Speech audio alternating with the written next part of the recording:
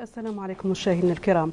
استقبل فخامة رئيس الجمهورية السيد محمد الشيخ الغزواني زوال اليوم بالقصر الرئاسي في نواكشوط معالي الوزير الأول المكلف السيد المختار ولدجاي وقدم له رسالة التكليف.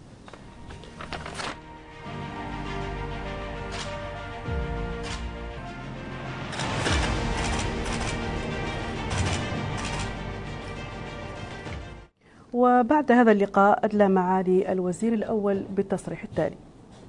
كما تعلمون لقد شرفني صاحب الفخامة رئيس الجمهورية محمد الشيخ الغزواني باقتراح تشكيلة للحكومة الجديدة.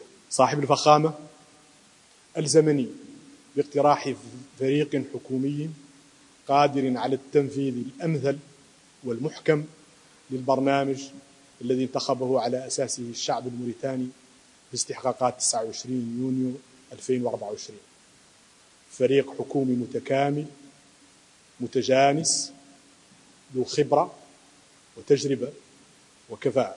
وأنتهز هذه الفرصة ليهنئ صاحب المعالي الوزير الأول محمد البلاد والحكومة على ما بذلوه من جهود كبيرة وما حققوه من نتائج معتبرة خدمة للوطن. وفي الأخير أؤكد